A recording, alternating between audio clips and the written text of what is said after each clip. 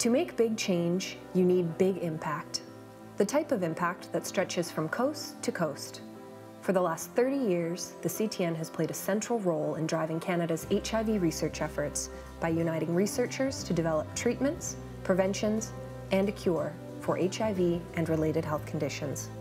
Despite tremendous advances in treatment, HIV/AIDS remains one of the greatest global infectious disease threats.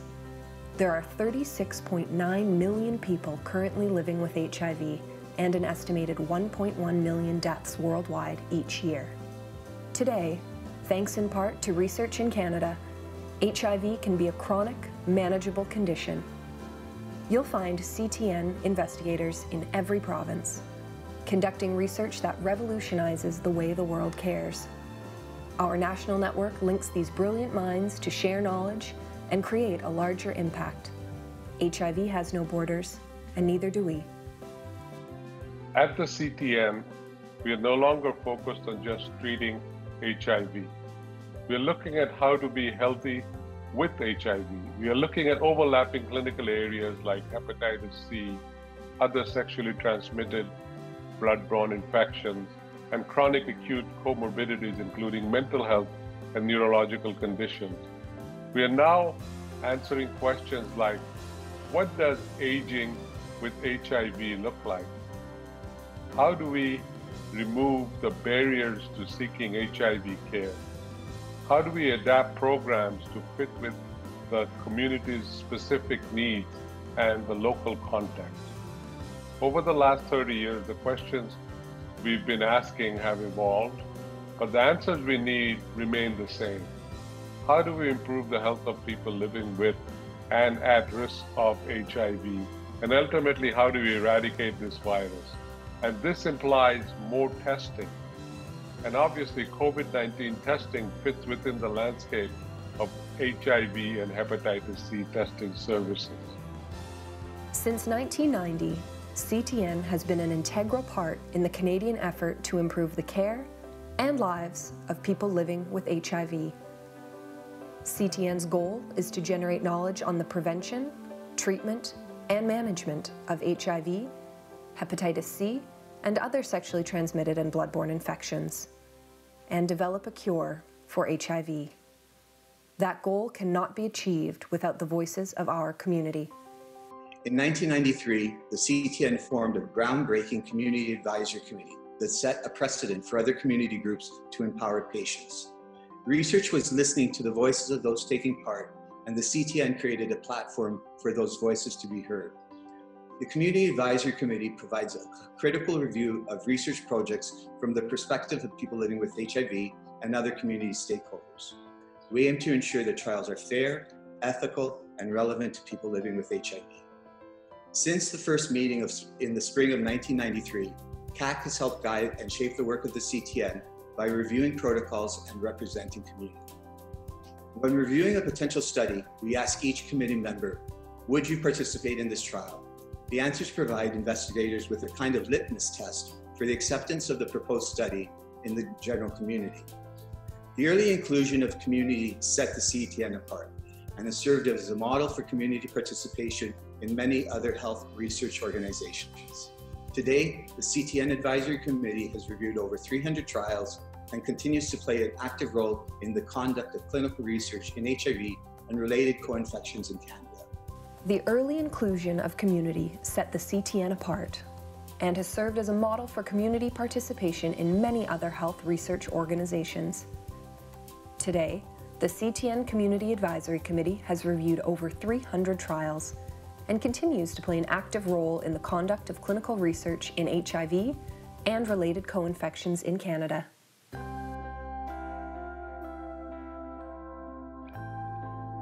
The CTN has had many milestone moments over the last 30 years. While our Community Advisory Committee was forming in 1993, that year also marked the beginning of the MAC trial led by Dr. Stephen Shafran of Edmonton, which contributed to advances in the treatment of Mycobacterium avium complex, a then common and deadly opportunistic infection associated with AIDS. 1993 also marked the beginning of the highly active antiretroviral therapy trials, known as HAART, led by Dr. Julio Montaner of Vancouver and other network investigators. This trial was among the first to demonstrate the efficacy of protease inhibitors in combination with two or three other anti-HIV drugs, ushering in the age of highly active antiretroviral therapy. Findings from the HAART-based trials were shared at the 1996 International Conference on AIDS in Vancouver, heralding a new age in the treatment of HIV. The conference and the CTN welcomed over 15,000 advocates, researchers, healthcare workers, and people living with HIV AIDS to listen to presentations and share ideas. On January 1, 2000, the CTN started the new millennium with a major new trial. CTN 167 Optima was an international collaboration set out to find the best therapy for people living with HIV infection who had at least two failed conventional HAART regimens. Optima showed there are no safety concerns with an antiretroviral drug free period. In 2002, the engines that drive the CTN were developed. Known as the cores, these teams ensure studies are implemented while still topical and are equipped to provide a forum for dynamic discussion of research ideas and the rapid movement of research initiatives into clinical trials. Together, the CTN's cores function as a catalyst of scientific activity. In 2004, CTN investigator Dr. Jonathan Angel announced the launch of a pilot study of a promising therapeutic HIV vaccine one of many projects developed in collaboration with the Canadian Network for Vaccines and Immunotherapies Research, a federally funded network of excellence. In June 2007, Dr. Marina Klein established CTN 222, the Canadian Co-Infection Cohort, to examine why liver disease progresses more rapidly in people co-infected with HIV and hepatitis C, despite the use of highly active antiretroviral therapy. October 20th, 2010. Following two years of dialogue and work, the CTN and the Canadian Aboriginal AIDS Network signed a Memorandum of Understanding. This marked a formal commitment of respect and collaboration and the beginning of a partnership that lasts to this day.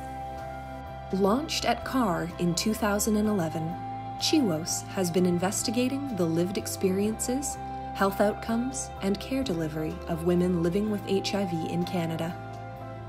Women represent one of the most important demographics affected by HIV, yet, research focusing specifically on the health of women with HIV is limited. To address the need for more knowledge, CTN investigator Dr. Mona Loutfy initiated this pan Canadian national research collaboration, the largest ever community based research endeavor focused on this topic. June 1, 2013.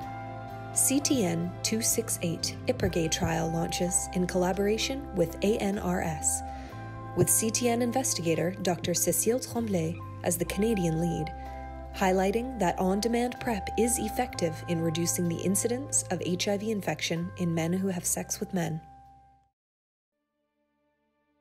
Also in 2017, CTN investigator Dr. Winston Husbands launched CTN 297 Black Praise, evaluating an intervention to reduce HIV stigma among African, Caribbean, and Black church congregations in Ontario.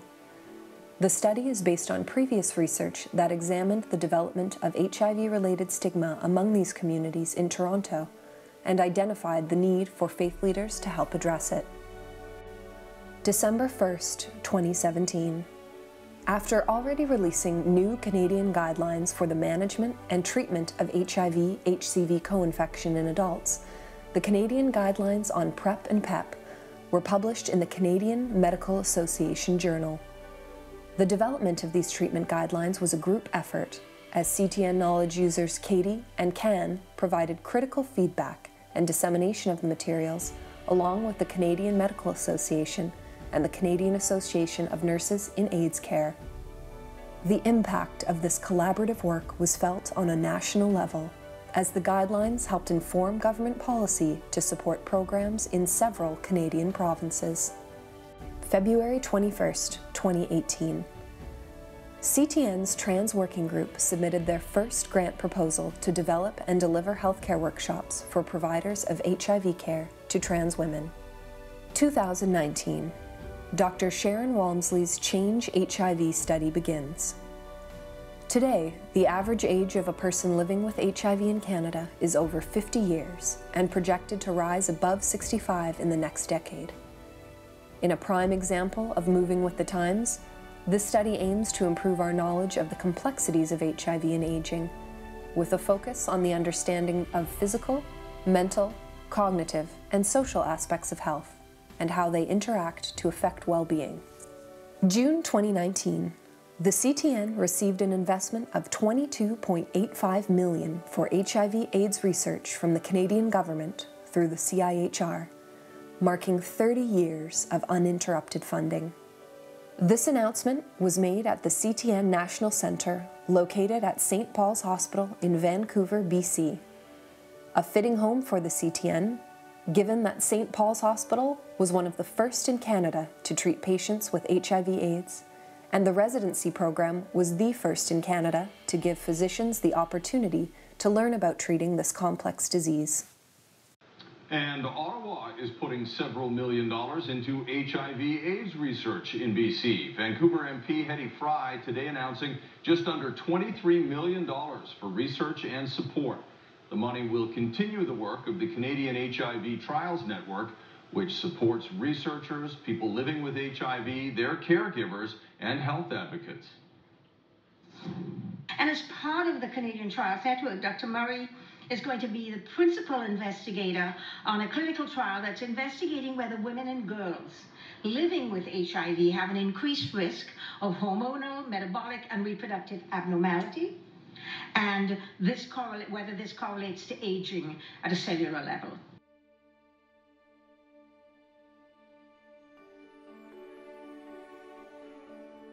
At the CTN's National Center, we take a good idea and help make it even better. Our team of dedicated National Center support staff provide their expertise to facilitate the highest standard in HIV clinical trials.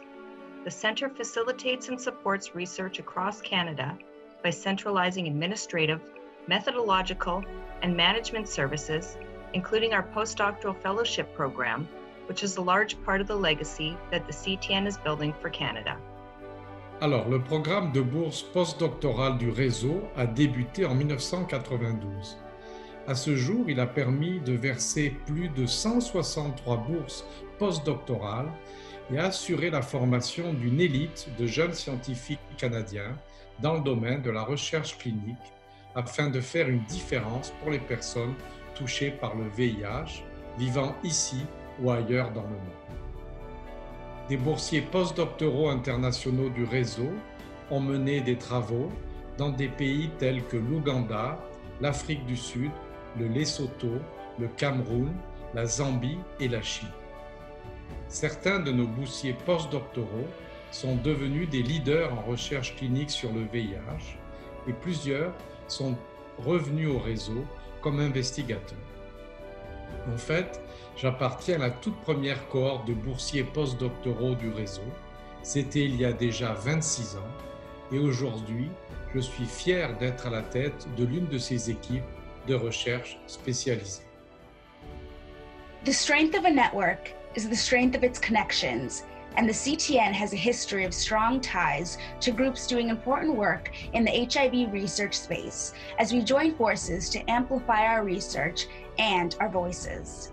The CTN works with the national and international community based partners, policymakers, healthcare providers, pharmaceutical and biotechnology companies, as well as international academic research networks. But the most important partners in this journey are the study participants who help make this work possible. We can't advance our knowledge without these crucial partners giving their time and efforts. To everyone who's ever participated in a clinical trial with the CTN or anywhere else, thank you. Thank you for helping our world get one step closer to better treatments, better care, and better health. The CTN is ready to continue responding to the threat, driven by a common goal. The collaborative scientific network we've created over the past three decades has the resources to conduct in a cost effective manner research to address the changing realities of the HIV epidemic. Our goal is to rapidly advance the knowledge we need to have an impact on the health of Canadians and beyond. Over the last 30 years, the CTN has reviewed over 300 studies with over 20,000 participants, and our numbers and our knowledge will continue to grow as we support the present and the future of HIV research in Canada. Join us at hivnet.ubc.ca.